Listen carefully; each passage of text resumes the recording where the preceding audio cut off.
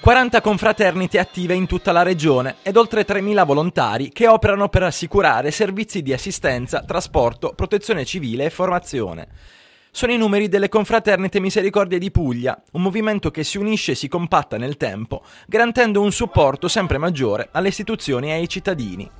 Lo fa attraverso la neonata Federazione delle Misericordie di Puglia, la quinta in Italia dopo Toscana, Emilia-Romagna, Campania e Calabria, il cui scopo è proprio quello di unire e coordinare al meglio il lavoro svolto dalle diverse confraternite pugliesi. Una struttura che centralizzerà alcune non attività, non solo attività, ma centralizzerà anche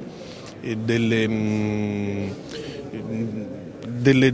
dire, delle situazioni anche amministrativo-burocratiche, chiamiamolo così,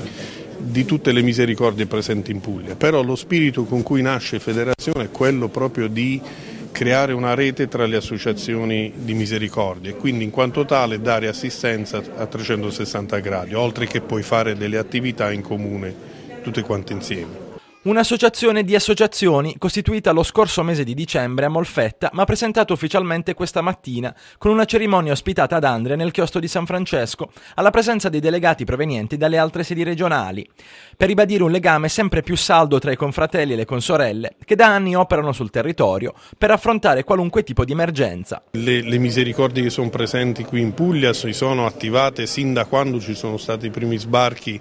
di profughi, quindi si parla anche nel 91, 91 92, quindi abbiamo un'esperienza un in questo nel campo della protezione civile, nel campo dell'emergenza sanitaria, delle, delle, attività sociali, quindi è un'attività molto eh, costante e continua. Oggi con Federazione noi andiamo a consolidare quello che è l'attività istituzionale delle stesse cercando di eh, appunto creare una sorta di coordinamento logistico e amministrativo.